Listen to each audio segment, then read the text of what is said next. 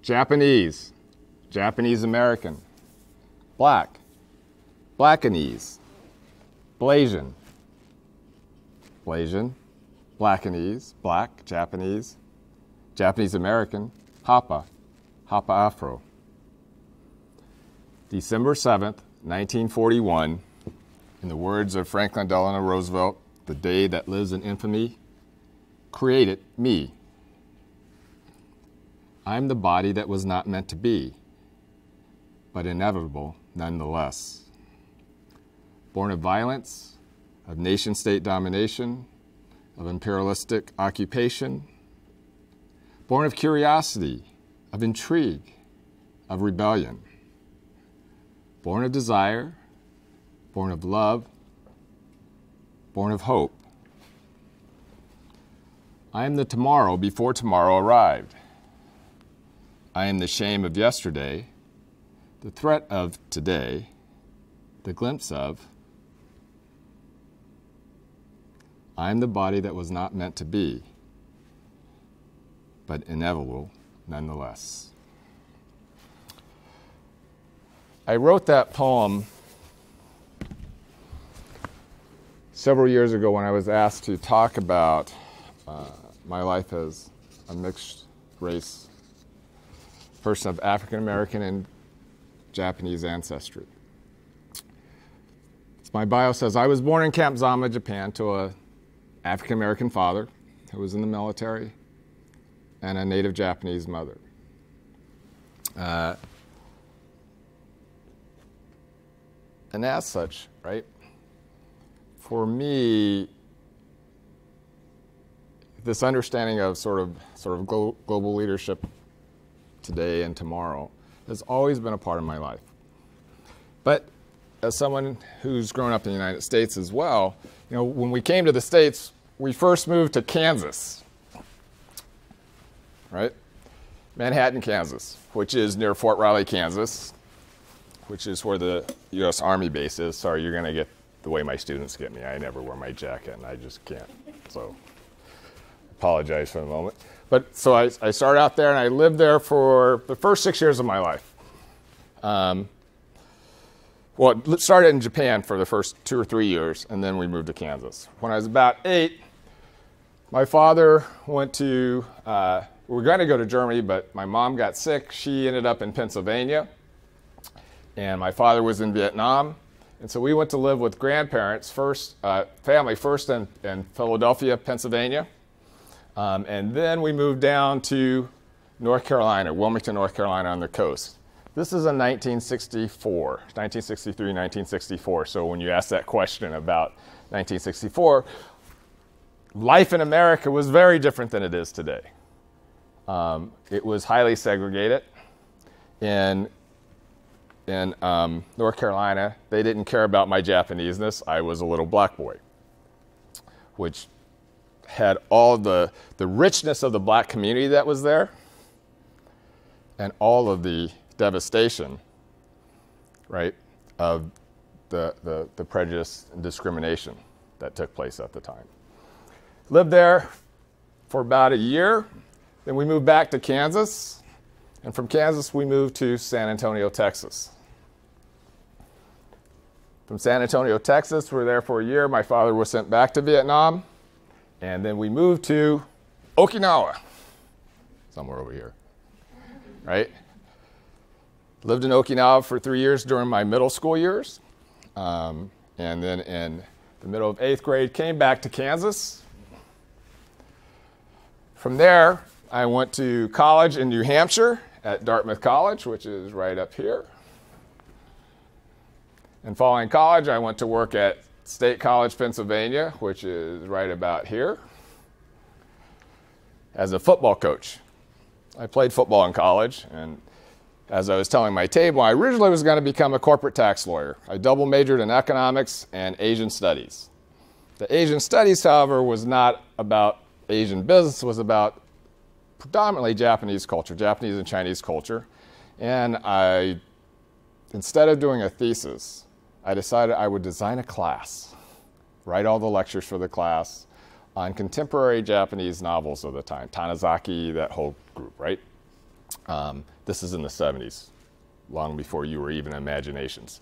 Uh, so, so, so, um, but they were in translation, so I, I, put this class together. It sort of foreshadowed something that I didn't know was going to happen because at the time I thought I was either going to be a lawyer, um, I was going to be an attorney and, and do tax law. Um, like all of you, when you get to your senior year, you start to do some soul searching about what it is you think you want to do, what you might not want to do. And, and as I started to think about it, um, right before I went to college, I lost my father. And so I began to think about, as I was finishing up college, sort of who were the sort of important people in my life. And because football had been such a big part of my life, my father was my first coach. Um, and uh, he and a number of other uh, uh, men who were military folks were, were, had been our coaches, and they'd been important pieces of my life. And then my high school coaches were important, my college coaches were important. So all the men who had been real important in my life um, had an association with football. And so I decided to coach. Um, and I went, uh, I got a job coaching at Penn State University in Pennsylvania. Did that for a year. After that, um, circumstances uh, presented themselves for me to go coach at Trinity College in Hartford, Connecticut, which is where I got a master's in public policy. Um, coached there for a couple years, got my master's in public policy, but I, and then I began to coach track as well. I had run track in college. Um, I did football and track. I was a pretty Isugashi kid. Um, so, um, so from there, uh, I left Connecticut to go to come to California. And I came out to Pomona College, which is in the Claremont Colleges, where I was an associate dean of students and dean of residential life. Left coaching and went into student affairs um, and, and spent time there doing that. And while I was there, I taught a course on ethnicity and public policy, um, a, a first year seminar, a freshman seminar. Deciding I wanted my boss's job, which needed a PhD, I went back to school, went to the University of California Irvine, where I studied comparative culture, which is an American ethnic studies degree. So we looked at both all the sort of four major groups um, African American, Native American, Asian American, um, Latino, and then also dominant culture. And that was one of the differences that we had. So we had sort of segments in each. And then we chose a disciplinary, and I did cultural anthropology, in which I do something called mathematical ethnography. Um, so I was able to finally bring the two sides of my brains together in, in an academic pursuit. Um, from there, um, I've worked for different groups um, in terms of doing, uh, I worked for a civil rights law firm as a diversity specialist. And working as a civil rights law firm, I got to travel all over the United States, predominantly in the South and the West Coast, because that's where most of the conflicts are occurring. Um, and we worked on retraining people and companies um, who had problems treating people well. Um, I also then I left them to go work for a community-based orga- uh, research organization called Imoyase, um, in which we work with community-based uh, organizations that do healthcare, uh, well, service delivery type of deals. So, um, and mostly we worked in health and wellness. And so I did a lot of work with uh, Native American communities and in Asian communities. And those travels took me everywhere from Seattle and up here to Arizona, uh, New Mexico, Chicago, um, and then uh, right before I did that, I forgot, I did all my, my dissertation research in Alaska. I'm telling you sort of this story for the sort of this larger story for a piece because as we start to talk about sort of the topic that, that I was given, sort of global leadership in the post election, I've had the wonderful privilege of living in several different regions throughout the United States of Midwest, the South, Northeast, right? Texas is its own region in a lot of different ways. Um, and then as a professional, I've traveled to almost every state in the, in the union doing work on diversity or bringing access of either healthcare, education, et cetera. I'm also on the Gates Millennium Scholars uh, Advisory Council, which also takes me across the United States as we meet with students uh, of the four major uh, groups, underserved groups, that historically underserved groups, so that they have access to, to go to college. Um, and, we and they're funded for their entire college education, actually through the PhD if they wish. So being able to, to travel the country in that way, um, and, and, and, in particular in this sort of professional context, um,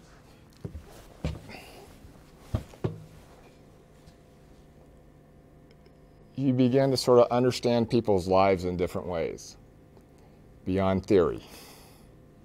Now, I do ethnic studies, and we could have a great conversation about oppositional race theory, critical race theory, all those sorts of things. And I, I don't necessarily want to do that because um, you guys have classes themselves. But to say, you have to take it from theory to something. And watching it play out in people's lives, right? Um, and seeing how people lived what were their joys? What were their fears? How people acted sometimes against their self interest, sometimes how they shaped and understood their self interest and their actions has always been something fascinating to me, which is in part why I, I, I do the types of things that I do in terms of, of my academics. And the other area that I, I work in is in mixed race identity. One of the things that I'll share with you for a moment, um, in terms of those of us who are sort of mixed race of Japanese ancestry, like anything, no, no group is monolithic. And one of the things that I think was, has been interesting to me is to look at the folks who are around my cohort. So those of us between the ages of about 45 and, and, and 65 we are the generation that were, were mostly sort of international, from international families, mostly military families and the like. But a good number of us were born in Japan. When we came to the States, we went to places other than California, and even in California, generally not the sort of major places where the Japanese American community resided. For us, our understanding of ourselves was that we were Japanese. Right? I was black and I was Japanese as an adult, when I moved to California, I had to develop and understand myself as a Japanese American. Because when I talk about that thing of cultural identity, right, the cultural identity I had was from my mom, right? It wasn't a Japanese American cultural identity, it was a Japanese identity. I thought of myself that way. I, and, and as you can imagine, sort of, I don't, I don't know if it's changed that much. And I spoke pretty much women's Japanese because I learned it from my mom, right? So I, I, I, had to get crash courses in all the men's words to say when I got to Japan, when I studied there uh, in college. And so a couple of the guys took me aside and said, no, no, no, you can't do it that way, right? Um, but uh, uh, anyways, uh, she did the best she could. But, but, but in terms of understanding ourselves, right? I think for many of us, it was having to discover and understand and come to an understanding of ourselves as Japanese American right? For me, uh, when I first came to, to, California, it was in 1982, um, there was a show at the theater right here um, called American Made. Um, and it was two Asian Americans talking about their Asian American experience. Um, and it was fascinating to watch and listen to because that's the first time I had heard about this Asian American thing. Although I started the Asian Club at, at Dartmouth, it was still mostly around our sort of Asian heritage as opposed to Asian American heritage. Um, and so it was fascinating because there's this whole different other community that had grown up here with all these other different pieces. And for me, as I sort of began to uh, interact with that community, once I found out about it, I started sort of putting some feelers out and, and going to look for some things. Um, and it was very interesting for us, for me, because as I did, particularly in the LA context, the Japanese American community out of Gardena, which is where I ended up getting to know some people, um, was very much influenced by the African American community, the Crenshaw Gardena, and, and sort of and sort of the way the geography works. And so, for in a lot of ways, when I went to some social gathering, given the music that was being played, and the food that was being served. So we have straight up black folk music and Japanese Japanese American food. It's like I'm home, and it was this really comfortable place to be, right? So I say some of this to talk about as we sort of think about this notion of sort of global leadership as we go forth. Um, really is I like to come at it and have this conversation with you as, as, as someone who knows that it's possible. Much of what's going on in our nation, in this nation today, makes a lot of people feel hopeless and angry, among other things. And we can talk a little bit more about that. I have questions for y'all. But I, I grew up in a binational biracial, bilingual, bicultural family living in a third culture, impacted by a military culture on top of that. My wife is Sansei. She's never been to Japan. Um, and we have a interracial family. We speak three languages. She speaks Spanish, English, and a little bit of Japanese. She's Buddhist and I'm Christian. Right? And fortunately, my daughter is not confused. She knows who she is.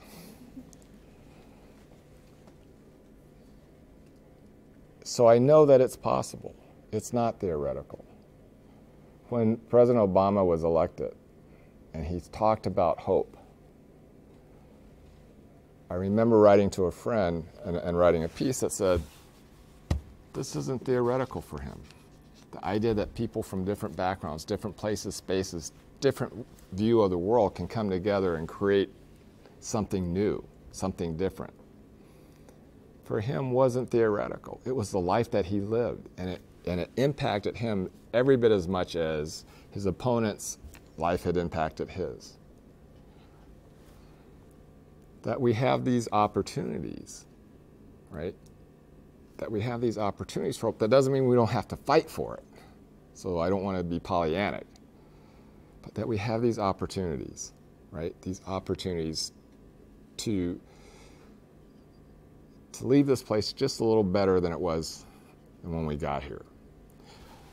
My generation hasn't always done a great job of that.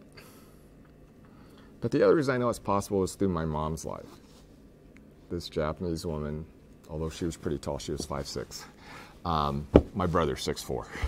Um, she, she melded into the black women's community in Kansas, became a leader in many of the black women's fraternal organizations, um, and when she passed away, the church was filled in, in, Manhattan, Kansas, because Kansas is, is a pretty conservative place in a lot of different ways.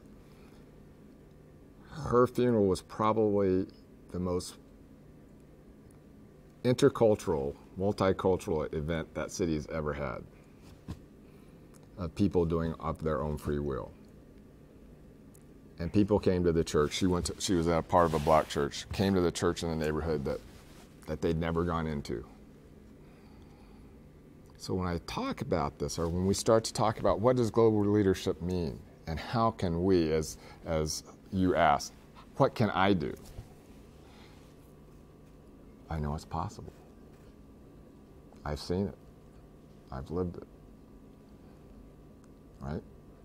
And so as we sort of think about this, or as we go into this, right, um, this session will be more about me asking you questions, although you're welcome to ask me some, because I don't want to be a talking head um, more than I have to be.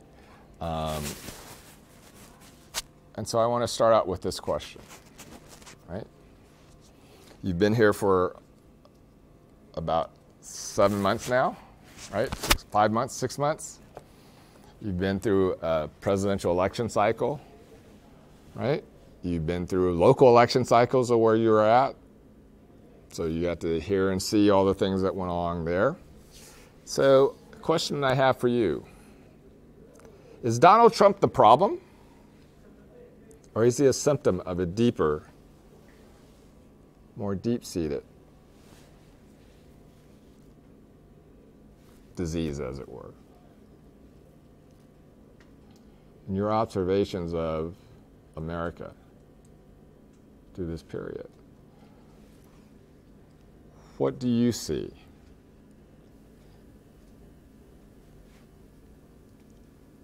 I don't think he's a problem. He's,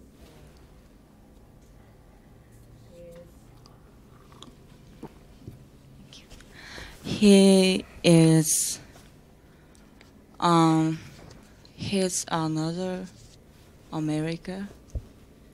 He's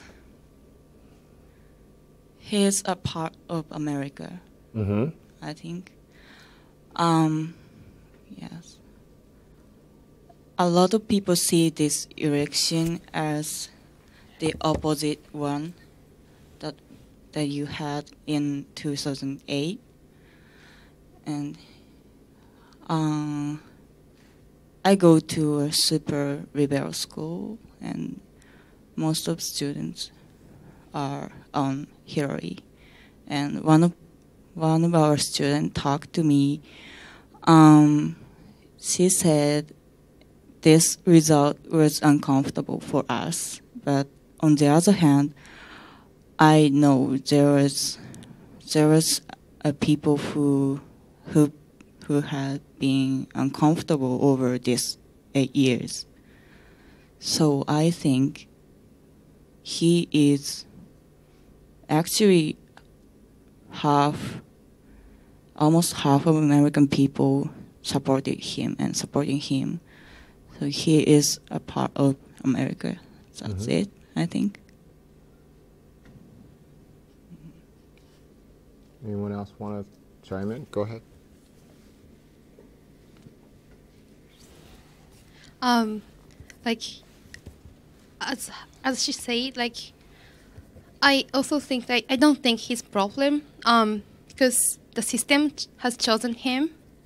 And then like the there's no like um and uh, if we say there's a problem i think the system of the united states is itself problem. Or like the or if the citizens in the united states think that like that kind of things that happen that think like the Trump is elected, its problem is if they say so, they have to review their system of the states, like in terms of political or like social or cultural perspective, and then I think it is a good chance for them, like American people, to recognize, like the their country itself, like because it's so huge, and I think it's it's so difficult to organize the entire land in like in terms of ethnicity or like the state itself.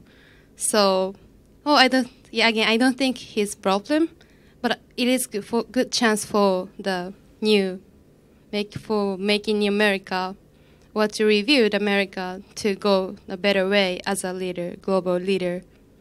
I think.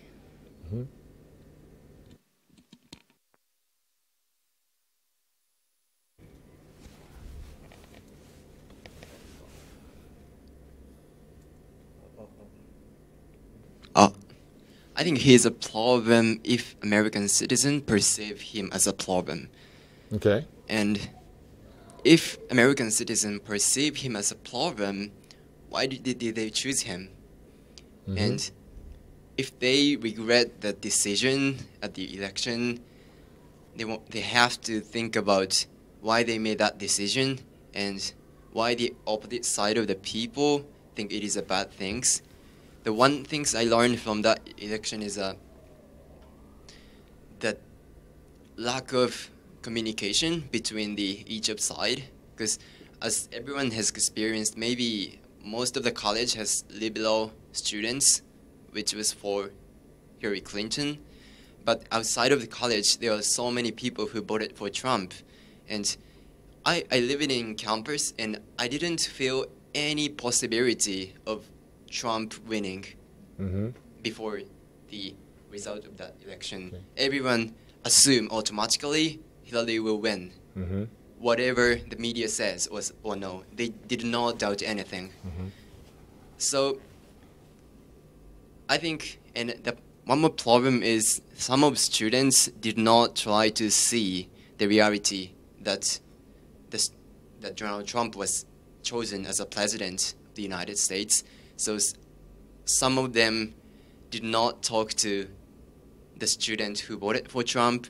They harassed the students who voted to Trump, and even the um, the surprising thing was a post on the Facebook which says until the next election it will be three years and 355 days and three hours or so. When I saw that, are you not gonna going to do anything until the ne- next mm-hmm. election? You just waited for the next election, or you think the reason or cause of that election and try to fix the problem. So the answer of this question is he is problem if American citizens think as a problem. So Okay. yeah.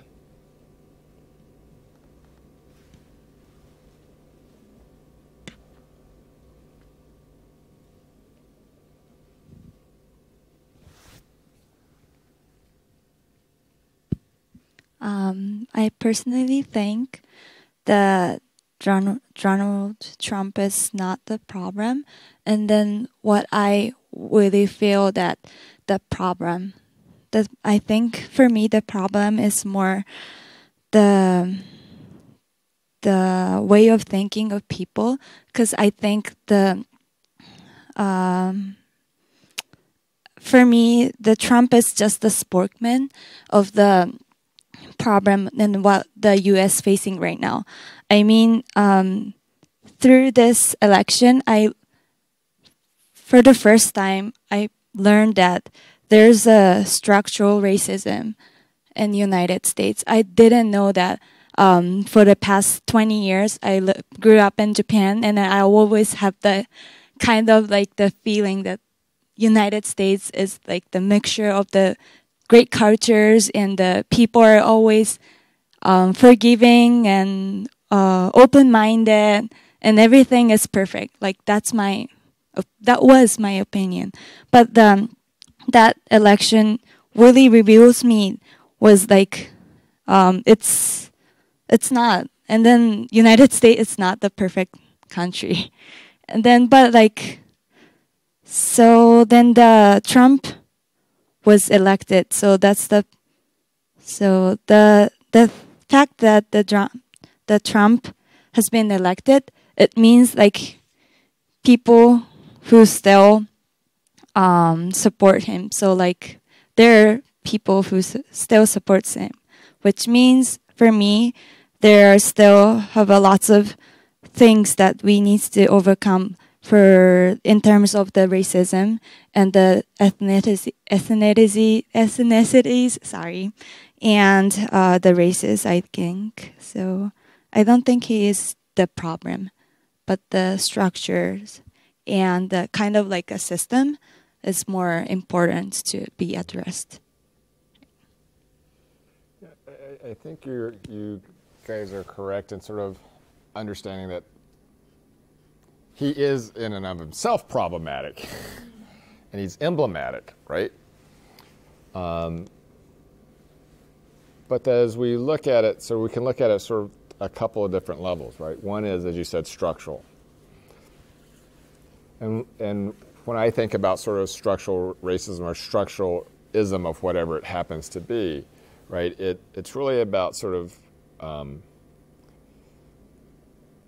an infrastructure, laws, policies, and legal practices, right, that you can identify.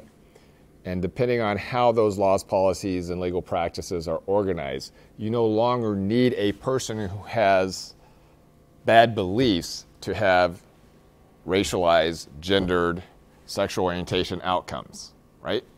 So uh, if you have practices which um, uh, how you give out loans at banks and what you see as criterion for loans, you can have housing disparity that come down and are very racially patterned without the person who's giving the loans being a racist person at all. In fact, they could be of one of the groups that's, that's being discriminated against. They like themselves a lot. Um, but because of the way, just doing the job will have these sort of racialized outcomes, right? So there's that level. I think this election also sort of told us something else too, right? Sort of how is it that people understand themselves, right? It's, it's, it's almost an epistemological question, right? Um, you know, in the sense of sort of how do we know what we know?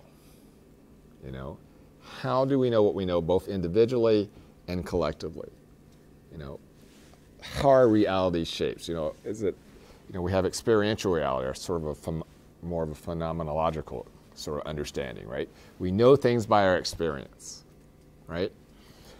Then we have this other level, sort of, uh, there's agreement, sort of, sort of agreement reality, what we've learned, what we've been taught by others, what we learn in school, and we're having a huge battle on agreement reality now in the sort of notion of fake news, alternative facts, all those sorts of things, and, and sort of trying to figure out what, what's, what the story really is, right? Um, and then there's intuitive realities, right? Those, about those things that we don't particularly see, but we know in our gut somehow, right? When we look at experiential reality, as well as agreement reality, we also have to understand that there's an emotional component to it, right? Um, and if people are thinking emotionally, as you said, right? If they don't talk to each other at an emotional level, so one group may be talking at a rational level, facts, all these sorts of things. How can you not, or how can you have this person say something and you not think that that's offensive? All those sorts of things.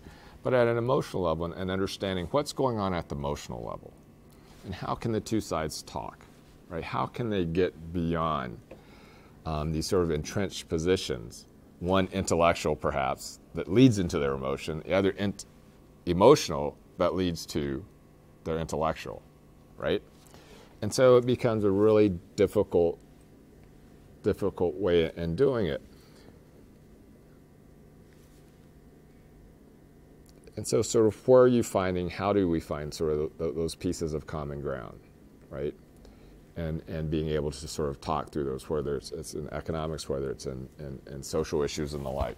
The social issues will, will have actually more problems than the economic because it's closer to where the emotion lives, right? So one of the things that I think that is sort of in this interesting place for us is sort of there's always been this tension in the United States between the notion of equality and equity. Equality being treating everyone equally, right? That notion that we treat everyone equally, et cetera. And there's lots of ways that formula can play itself out so, so that um, the outcomes are not equal, right? Using a, a certain rule. But the question may be one of equity. You know what that means when we talk when someone says equity?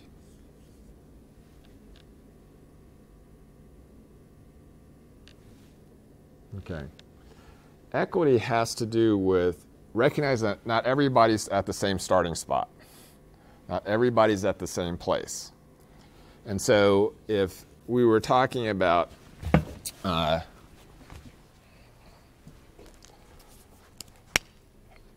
classic example that we would use there's a fence and there's a construction site behind it. You know how you know how you like people like to see buildings being built? And so what they did was they put a window up here so that everybody could see what was going on in the construction site. So you can go up and you can look but the window is at about five feet five inches so in order to see you'd have to be at least five foot five inches right or a little bit taller than that. Everybody has, nobody's, nobody's saying you can't do this. Everybody has an equal chance to look. But unless you have some boxes for people to stand on or other things, right? So in equity, you would provide different size boxes so people could look, right? Through that window. So equity sort of meeting every meeting people where their needs are. The other example is, you know, I could say, you know, it, all of you all needs a pair of shoes. None of you have shoes. I will give each of you a pair of shoes. Everyone will get a pair of shoes. Treat everyone equally. But I will give everybody a pair of size six women's four inch high heels. Who will that be? Who would that work for? The person who has a size six foot and is used to walking in high heels. Wouldn't be much use to anyone else, but I've treated everybody equally. You all got a pair of shoes. Notion of equity. One of the battles that we're having right now, sort of, how do we reconcile equality and equity? Right? So the problem of equality and equity is coming from the difference between what one side of wants and the what other side of wants, right? Because someone wanted choose for the women, but someone wanted choose for men. So we have to recognize what is each, each individual or each collective collective element. Well, well, I, I mean, I think I'll sort of back up. Everybody needs a pair of shoes, right? So if we're engaged in equity, right, then we want to find out what type of shoe best fits each person for who they are and where they're at, right? And there'll be some groupings of them, but but for the most part, right? That takes a lot of work, right? To treat everyone equally is easy, but because that's what we all persons are created equal, da da da da da, right? But all people's circumstances aren't equal, right? So what one needs may be different. Because America has a sort of notion of fairness, how do we treat each other fair, right? And one way is to treat everyone equally, which we've sort of playing with this, I say, doesn't always work. And the other is to treat each other equitably, right? And, and being able to have those conversations about, because it's about sort of how do you, how do you act in such a way that the other person matters, right? I go to a, I, I teach at a Jesuit institution that has a lot of emphasis on social justice, right? And the notion of faith and social justice. Me, social justice is at the individual level, being able to, whatever encounter I have with someone, they know that they mattered somehow, whether it's just because I said hello when they were taking some money from me as I paid a parking ticket, or someone who's cleaning a restroom in an airport and I say, Thank you very much, you just made my life so much easier. That the work that they do matter, right? And depending on where you, you're at, you get rewarded for that or not rewarded for what you do. Most people who are doing the everyday work get ignored they're just there. Right? You get someone mentioned something about intersections, intersectionality, where things intersect, right? And in our conversations in the United States, it gets very complicated in a big hurry, right? In the way in which we're sort of looking at it, and we play with things like immigration and the, and the, and the challenge that we're meeting. We can see a place where race, class, gender,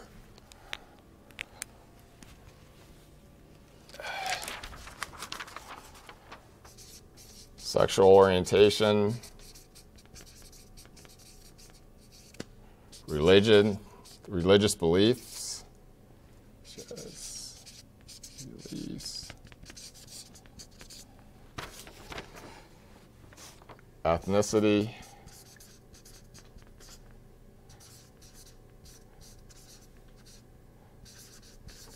culture all have these overlaps, right? And at different moments and times, these all play out differently, right? They come in different combinations. And depending on the issue, the combination could be this combination, this combination, right?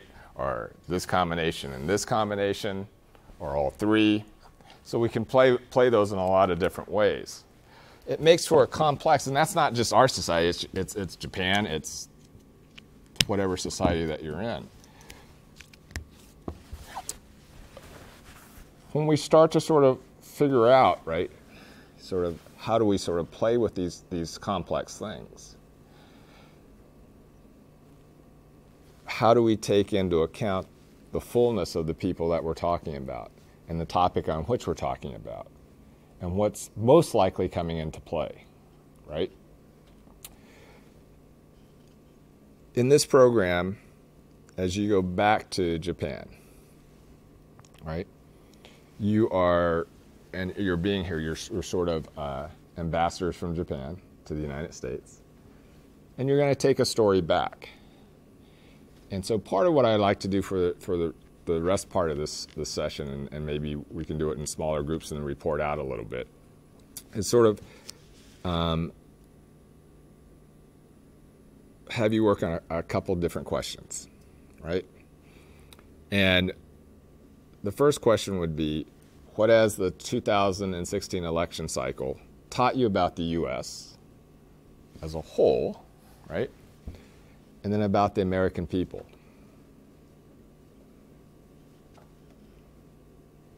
What has the, this election cycle taught you about the United States?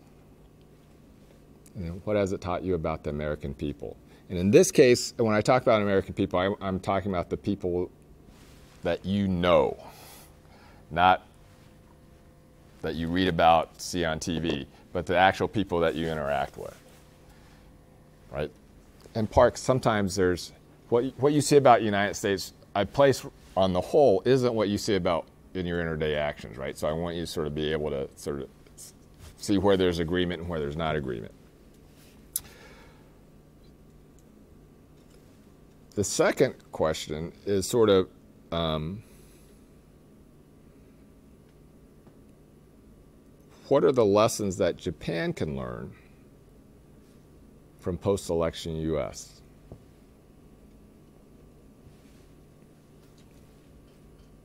Both at a country level and then the second level from the American peoples. So I'll say American peoples because we have so many different grouping of people, but American peoples. So if you could get in you four at this table, you three, and you three. It's interesting that it's all boys and it's like a it's like a junior high school dance. Um, to sort of take a few minutes to sort of sort of work on those those questions, right?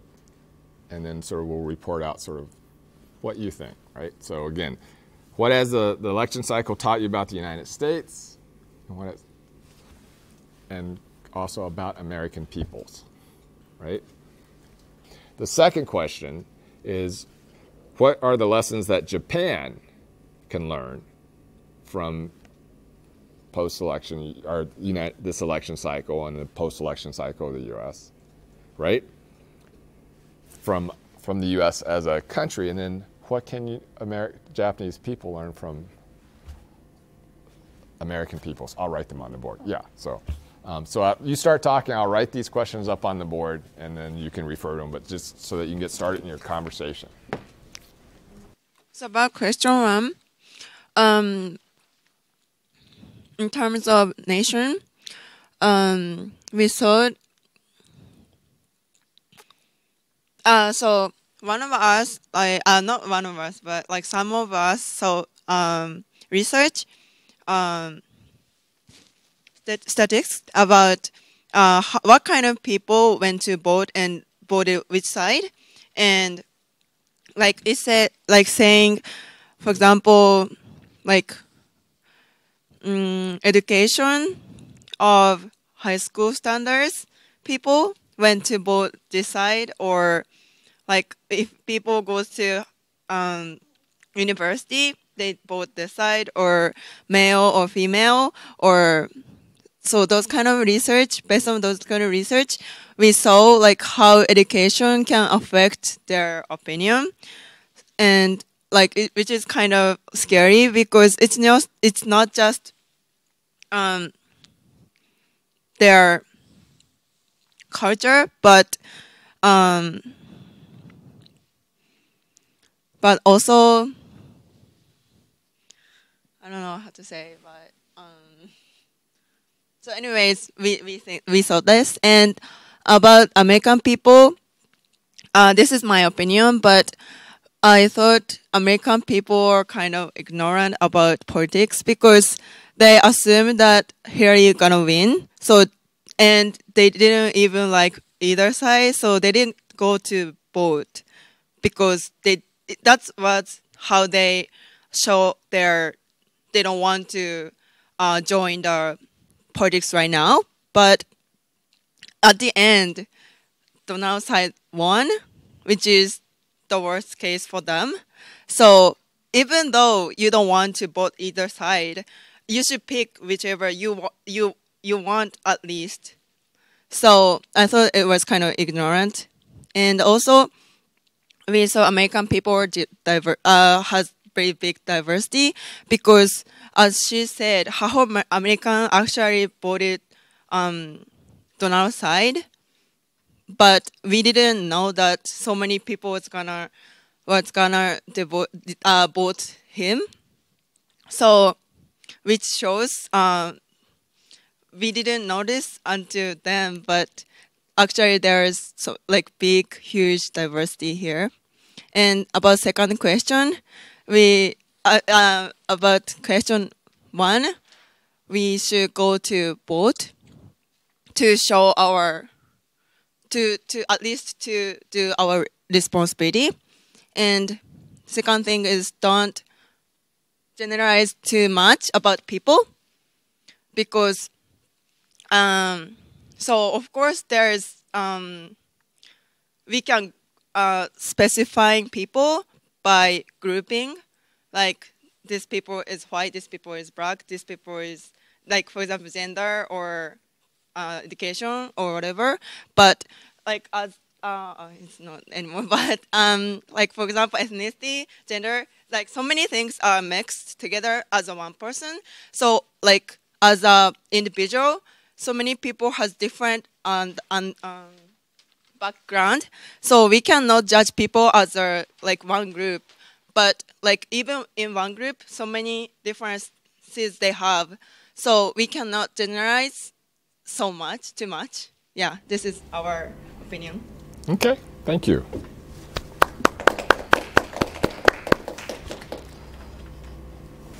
Um, our answer to the question one is like the first part, like the learning, like in terms of like the states level, is like that like question about the current what we call democratic system, because the democracy chosen him, and then like and then someone like this, there's some data that like the the majority of American people actually chose the Hillary, but the like as a result, like because we count the vote, the numbers of vote, like like the state level is in the United States. So and then Trump is elected, and then like, so what do we think about democracy in terms of state politics? And then that's what we learn in from like, in terms of states level. And then second thing. Um,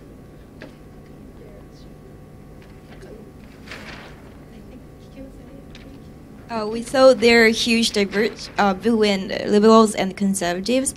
I thought uh, we saw their backgrounds grown up and live are very different, too different. Because um, for Thanksgiving break, I went to Pennsylvania and I stayed like um, poor, not poor, but farm uh, farm farmer's house, and then the mother there, and then she was a huge, big supporter for um, President Trump, and then, but she was still very nice. So I'm very, I'm a little confused, but at the same time in the college, um, I have a friend from Milan, and then she kind she's kind of hater for um, President Donald Trump, and then because of the Trump's um, Muslim ban, she cannot go back to her country, and also uh, family cannot visit her in America, so she was crying at the cafe, and it impressed me a lot too. So, yeah, and also she has experience.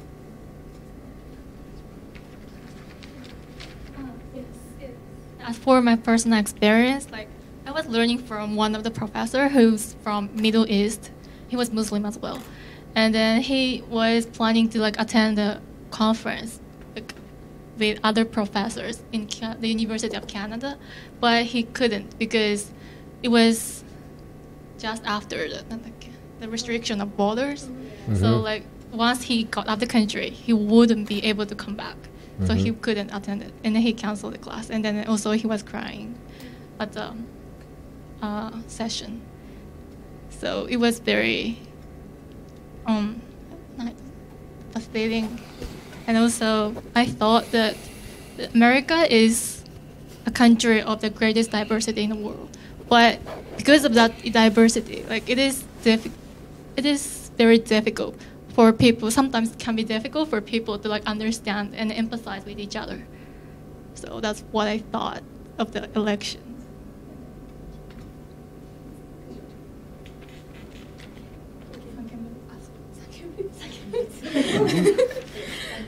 Um, okay, let's move on to the second question. And then our learning as a Japanese is that leader could be changed easily. And then, but like also that leaders could be like regulated by legal, legal institution. Who, um, as we talk, like as as she talked, um, like the there was like the border regulation, but like the ordered by Trump, but the I think in few days, in a few days, like the I don't know how to say in English, like the legal big power, like kind of successfully like ordered, like it's not, it's illegal, and it kind of stop. It seems to stop the his like Trump's order mm-hmm. on the big issue, and then that could be like good learning because the system worked and it prevented from them from like doing whatever they like the leader want to do and then that could be like learning for our political system in japan that's what our opinion thank you Okay.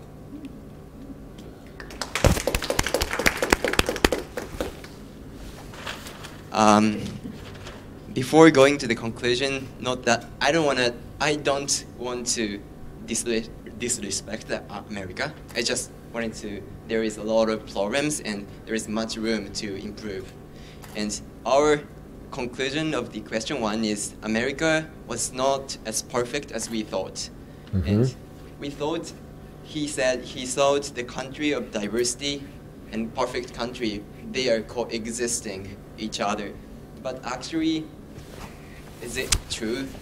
It just exists with each other without any interaction or something, he said. So our typical image of diverse country of America was broken.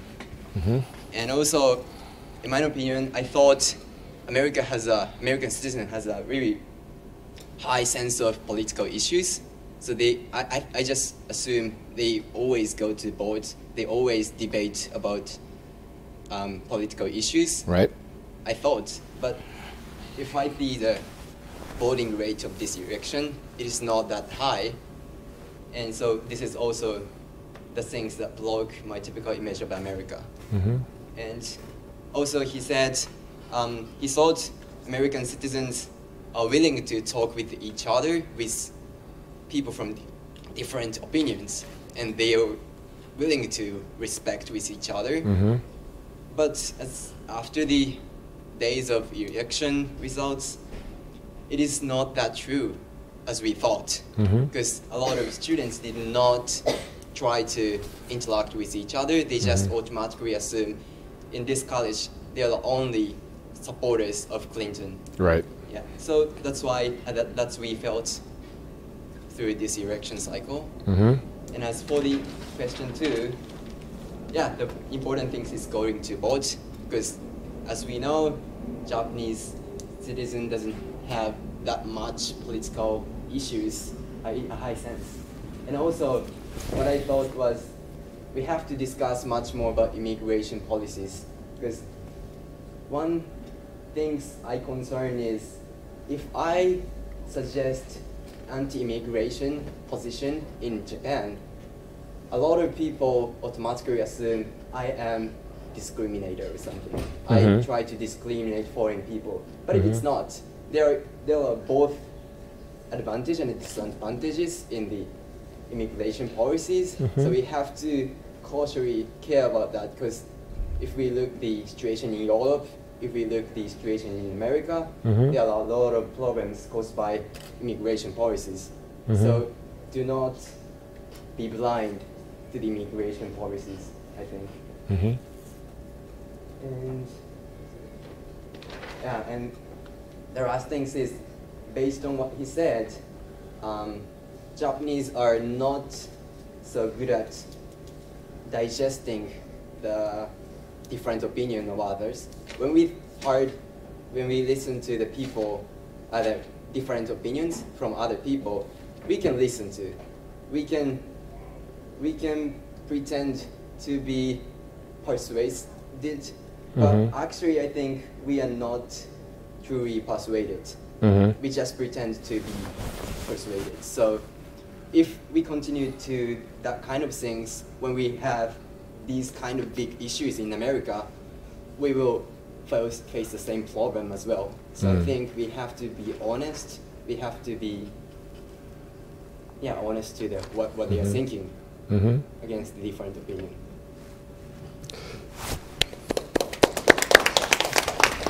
You guys did some some good work.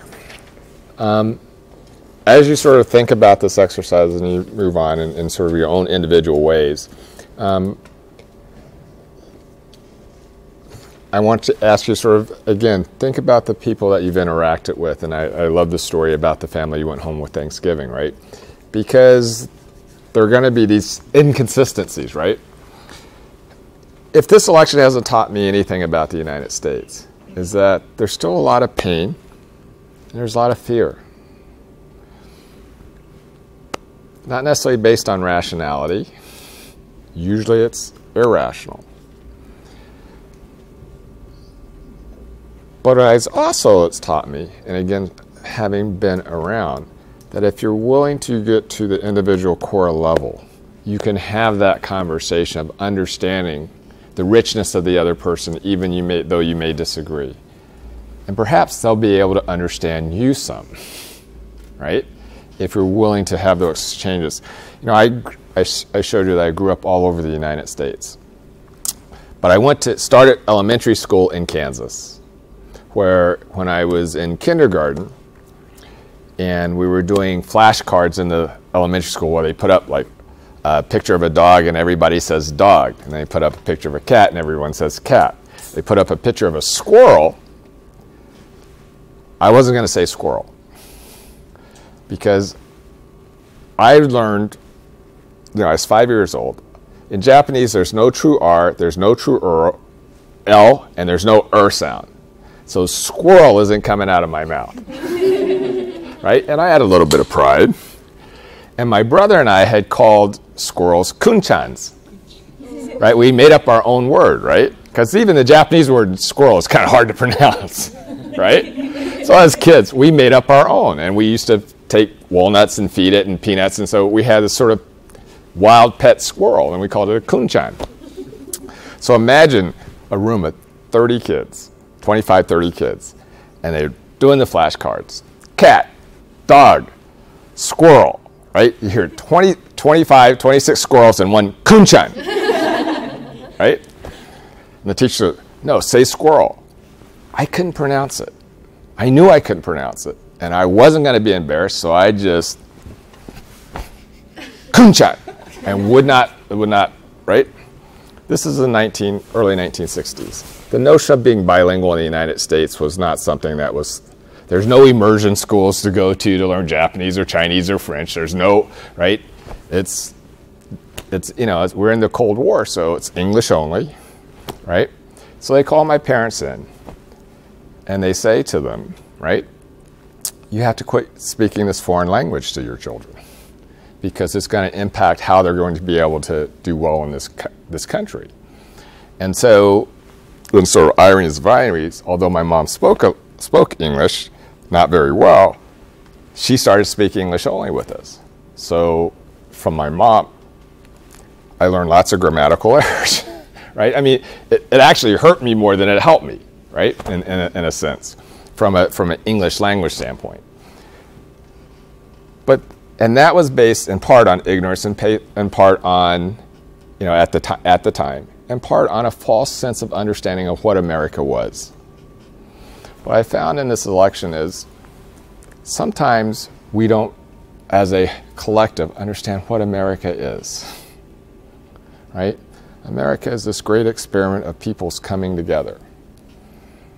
Even with the first group from different parts of Europe, of peoples coming together who had different ethnic identity. Even at that time, those different ethnic identities were seen as different racial identities. Right? We sent sort of conglomerate, brought, I can't even say that right word, put a bunch a lot of people based on skin color into one group as one race, and we've, we've redefined race in different ways. And we've conflated it with sort of ethnic identity and some other things. But, but we, we're still this place that is made up of many, right? Of the many one, to be one. But that's hard work. That's never easy, right? It's never easy. As global leaders, I think one of the things that you, in this exercise that you found, if, if you idealize something or someplace, right? And you find that it's not, it can either be very disappointing or it can take you into a, a, a, deeper way of no longer respecting them and all those different things. But to be to come together, we have to work, and it takes hard work. I start out by saying, for me, this is a hopeful time. In part, it's a hopeful time because things that were that were in the shadows are out where we can see them, where we can have those heartfelt, hard conversations with one another, right? And I believe as a country we will do that. It will take some time and it won't be easy, um, but that will happen. But only if we're, we're willing to engage. Um, so to close, I, I want to sort of leave you with um, uh, a metaphor. We've had lots of different ones in the United States, from uh, melting pot, right, to salad bowl, to um, kaleidoscope to all sorts of different things, right? But I, I like one that I will I like to sort of was taught to me by a group of poets, Asian American poets, and they took this from whether it's truth or not from from what they were told about Chinese poets many many centuries back. And a lot of times in the old Chinese poem, Chinese poetry, you can't find an author you'll see this beautiful scroll, beautiful poem with no author attributed to it, no individual author attributed to it. And they said the way they used to write some of their poetry would be that groups of poets, groups of writers would get together on a weekly basis or a monthly basis. They'd come together to eat. And when they would come together and drink, and they would come together to eat, and they would have a big pot of water boiling. And each person would bring what they wanted to eat that day in a sort of bag, a sort of cloth bag, a mesh bag. And so if I wanted to eat chicken, I would bring chicken and I'd have my vegetables in that bag and I would have seasoned it and all the what I wanted to eat that day. And I tied the bag up and you put the bag into the to water, into the boiling water, into the big pot. And every port would do that. So you might want chicken, you might bring pork, you might bring tofu, you might bring, right? All the different things that whatever it was that you were you were in that moment. And it was put together into this pot of hot water and it would cook. So my chicken, her chicken would season your pork, would season your tofu, would season your vegetables, and vice versa. The broth was something that was made of everyone. And so you would then take your bag out, open your bag, pour its contents into the bowl, having been seasoned by everyone else, and the broth would be made up of everyone. What I loved about that, right, was that while I was seasoned, the food is seasoned by everything else. The essence of who they are is not changed. The chicken doesn't become pork. The tofu doesn't become. Are you following me? It's still what it is. But it's not like it would be if it was only chicken, right? It's seasoned. The broth is what you made together right? If at that same dinner I felt I needed to, I could share my chicken with you, or you could share your tofu with me. And it was completely understood that sometimes If someone didn't want to share, they didn't have to, and they weren't embarrassed into it. But they did so of their own sort of volition at that moment. So, several things about that, that particular sort of scene, that metaphor that, that I really like is one, they're not asking people to not be who they are. And people share as they can, as they're able, at any given moment. That the broth they make is what they share in common. It wouldn't be soup without it. But it requires heat. The chemical process. If they dumped it in cold water, it'd just be cold, raw chicken. Cold, raw, right? It doesn't get cooked. It requires heat. It requires conflict. If you know it, if physics, heat is conflict, right? Atoms bouncing off each other, creating that heat. It's the friction that creates the heat that causes the chemical change, right? The essence is still the same, it's in a different form, seasoned by one another, right? So that we have to engage in these difficult conversations. The heat. Growing up in an interracial family, there were at times heat. Communication was difficult. We had to figure out how we were going to merge these different cultural backgrounds, religious backgrounds, etc. But we were committed, and here's the the other piece what we were committed to each and every time. These poets came back together each and every time. Sometimes the broth tasted really good, sometimes it was nasty, did not taste good at all, right? Because the way the chemicals came, the way the seasoning came on a particular time might work really well, might not. But they were committed to coming back every time. And as they ate and as they drank wine, they would begin to write poetry. And one person would write a line, and the next poet would then add to that line. The next poet would add to that line. Now, the poetry that survived was beautiful poetry. I'm sure there's a lot that got burned in the fire that wasn't very good. But the key here is commitment to one another to be more than the sum of their parts. Right? The other thing I've learned about growing up in an interracial family as mixed race people is that we're more than the sum of our parts. When we add it all together, it becomes something wholly new and recreate it at each moment. As global leaders moving forward, right?